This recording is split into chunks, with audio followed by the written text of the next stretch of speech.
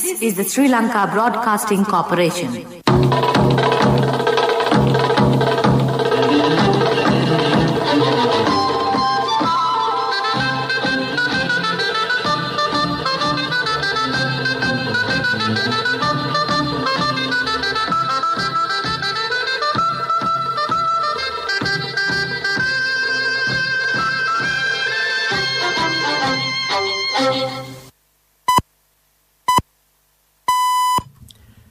Six forty-five. This is the Sri Lanka Broadcasting Corporation. Here's the news edited by Danishka Medawala and read by J. Yogaraj. First, the headlines. Sri Lanka will promote the COVID-19 inoculation drive.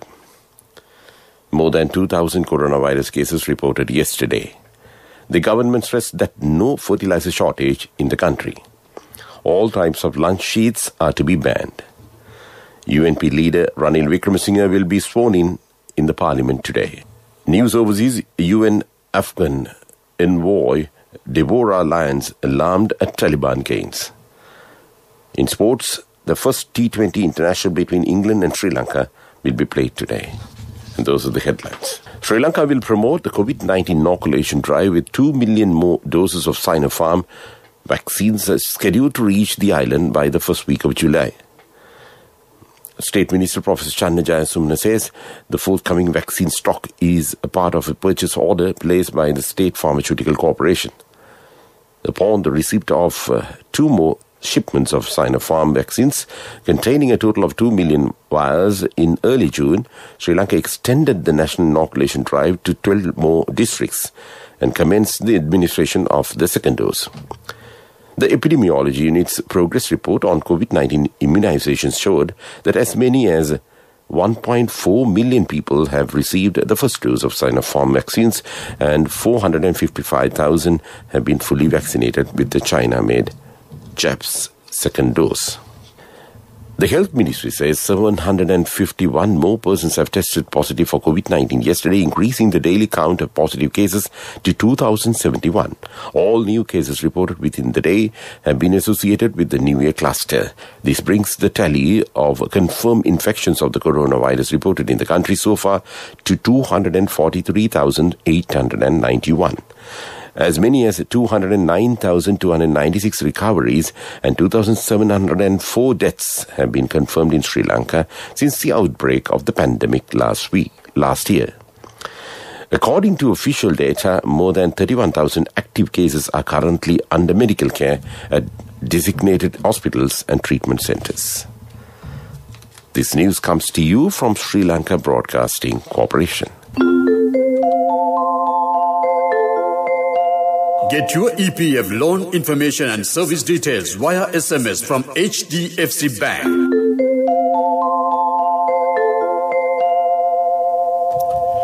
Co-cabinet spokesman Mass Media Minister Keheli Rambukwella yesterday stressed that there was no fertilizer shortage in the country, but said there may be an issue with regard to its distribution.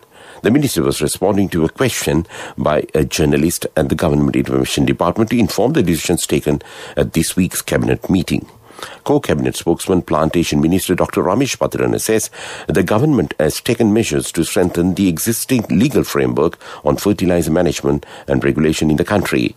Regulation of the Fertilizer Act number 68 of 1988 was introduced to regulate the production, preparation, importation, distribution of fertilizer and relevant matters. But various problems have risen due to the fact that the certain provisions of the Act are insufficient and do not meet the present requirements. In particular, since the necessary steps have been taken under Vistas of Prosperity the national policy framework to implement the use of organic fertilizer totally in the country, the need to include relevant provisions in the Act has been identified. Minister of Environment Mahinda Amaraweera has instructed the relevant officials of the ministry to take measures to ban all types of lunch sheets. Minister Mahinda Amaraweera pointed out that former President Maithripala Sirisena, who served as the Minister of, Minister of Environment in 2016, had taken steps to ban lunch sheets. However, the decision was not implemented properly. It has been estimated that Sri Lanka releases over 10 million lunch sheets in the environment per day. While lunch seeds decompose in the soil within two to three years, scientists have confirmed that the microplastic particles that accumulate in the soil due to lunch seeds last for over 200 years. UNP leader Ranil Wickremesinghe is scheduled to be sworn in before Speaker Mahinda Abeywardena this morning. Uh, Sergeant at Arms Narendra Fernando said Mr. Wickremesinghe, who is to be sworn in as a Member of Parliament, has been alerted the 13th front row on the side of opposition in the House. It has been reported that some government officials who did not report it or report to the service during the COVID travel restriction period have obtained transport allowance. Some executive officials are given many allowances, including transport and vehicle as well. Many activities in the countries were minimized during the past travel restriction period, but essential services were continued. In many government organizations, officials obtained transport allowance even without reporting to duty. There are more than 1.5 million state sector employees, and around 5% of them are executives. They are receiving a transport allowance of more than 19,000 and 50,000 rupees of, of a vehicle allowance as well. The government spends around 500 million rupees monthly. But some officials, while obtaining vehicle allowance and transport allowance, refrained to report to duty but some officials reported to duty as usual without getting any official transport facility or additional allowance. That's local news. Now, get your EPF loan information and service details via SMS from HDFC Bank. Wherever you are, being a state and private sector employee, to obtain EPF loan information and service details. Just send a SMS mentioning EPF space, name and region to 0718 800 HDFC Bank, the bank for your home. News story is brought to you by Siddhalepa Vedamahatmya. Foreign Minister Dinesh Gunawardena, in a telephone conversation held on Monday with the Indian External Affairs Minister, said that the steps that both countries have taken so far to enhance bilateral relations between Sri Lanka and India have been fruitful. Foreign Minister Gunawardena thanked the Indian External Affairs Minister for the financial assistance and COVID relief support extended by the Government of India to combat the pandemic. During the discussion, the two ministers agreed to work in collaboration with the regional organizations such as BIMSTEC and IORA. And that came to you in top news. The main news story was brought to you by Siddhalepa Vedamahatmya.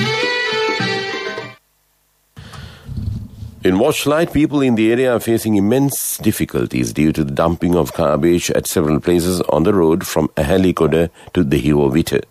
They said that people traveling in vehicles from other areas throw garbage on the road, and they said that in, Although relevant officials have been informed about the issue, no solution has been taken so far. They request the relevant authorities to solve the problem as soon as possible. And that's Washlight. And moving on to world news headlines UN Afghan envoy Deborah Lyons alarmed at Taliban gains. Foreign aid watchdog criticizes UK government over handling of spending cuts. Heavy fighting reported in Ethiopia's Tigray region, and those are the headlines of the world news. Taliban fighters have seized dozens of districts in Afghanistan as they step up attacks during the final withdrawal by foreign troops, the UN has warned. The insurgents have taken more than 50 of 370 districts since May, UN Special Envoy Deborah Lyons told the Security Council, warning of dire scenarios. She said increased conflict means increased insecurity for many other countries near and far. The US and NATO are still aiming for a complete troop pullout by 11th September. The UK Foreign Office has shown too little transparency and openness over its cuts to international development funding, a watchdog said.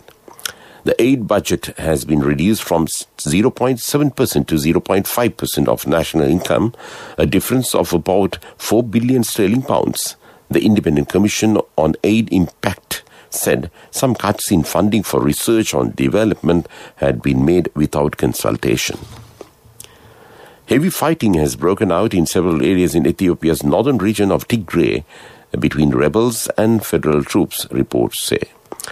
The rebel Tigray Defense Force said it had seized several towns which witnesses have uh, told the BBC they have seen its fighters patrolling. The Federation Ethiopian, Ethiopian Army dismissed the claim, saying it was fake news. This is the most serious fighting since November when the Ethiopian government declared victory in the conflict. And that's world news. And moving on, moving on to development news, the Committee on Public Finance granted approval Monday to issue 1,000 billion treasury bills under the local treasury bills ordinance, which is scheduled to be presented to Parliament for approval by the Minister of Finance. The Committee on Public Finance, uh, chaired by Anura Priyadharshana Yapa, met on Monday in Parliament.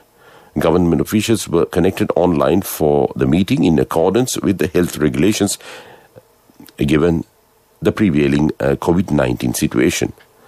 Secretary to the Treasury uh, Ministry of Finance, Mr. S.R. Attygalle, uh, expressing his views, stated that an increase of 3,000 billion rupees from the current limit of uh, 2,000 billion rupees is thus expected. That's development news. And moving on to sports. Cricket. The first T20 international between England and Sri Lanka will be played at 11 p.m. Sri Lankan time today. The match will be played in Cardiff grounds. Since the start of 2019, England have won 16 T20 internationals to the eight they have lost. In the same period, Sri Lanka has lost 14, winning just five. England are the top ranked T20 side, while Sri Lanka are at the eighth position. And that's sports news. Contributory deposit of 1000 rupees from NSB when your child enters grade 1. Open a Hapan Children's Service account for your kid today. Higher interest. Conditions apply. Business News. Sponsored by National Savings Bank. The safest place for your money. More than 5 million people became millionaires across the world in 2020 despite economic damage from the COVID 19 pandemic. While many poor people became poorer, the number of millionaires increased by 5.2 million to 56.1 million globally. Credit research found uh, in 2020, more than 1% of the adults worldwide were millionaires for the first time. Recovering stock markets and soaring house prices helped boost their wealth. And that's business news. Business News. Sponsored by National Savings Bank. The safest place for your money. Contributory deposit of 1000 rupees from NSB when your child enters grade 1. Open a Hapan Children's Service account for your kid today. Higher interest. Conditions apply. In economic news, the European Commission has opened an investigation into whether Google is dominating the online advertising market at the expense of its rivals. It'll examine Google's role in collecting data, selling advertising space, and acting as an online advertising intermediary. The Commission is concerned the technology giant is making it hard for other online advertisers, advertisers to compete. Google has, Google has said it'll cooperate with the inquiry. And that's economic news. Weather report was sponsored by Dialog in partnership with the Ministry of Education introduces Nenasa, a trilingual educational mobile app with video-based lessons for grade 1 to A levels. Now your child can study with ease on your mobile with no subscription fee. The Met Department says the showers or thundershowers will occur at times in western, central, Sabaragamu and southern provinces. Showers or thundershowers will occur in eastern and Uva provinces and in Mullaitivu district in the evening or night. Several spells of showers will occur in northwestern province. Fairly heavy falls, about 50 millimeters, can be expected at some places in western and Sabaragamu provinces and in Galle and Matara districts. Weather report was sponsored by Dialog in partnership with the Ministry of Education introduces Nenasa, a trilingual educational mobile app with video-based lessons for grade 1 to A levels. Now your child can study with ease on your mobile with no subscription fee. Before we conclude this news broadcast, let's look at the main points once again. Sri Lanka will promote the COVID-19 inoculation drive. More than 2,000 coronavirus cases reported yesterday. The government stressed that no fertilizer shortage in the country. All types of lunch seeds are to be banned. UNP leader Ranil Wickremesinghe will sworn in in the parliament today. News overseas UN Afghan envoy Deborah Lyons alarmed at Taliban gains. In sports, the first T20 international between England and Sri Lanka will be played today. And with that, we conclude this morning news broadcast of Sri Lanka Broadcasting Corporation.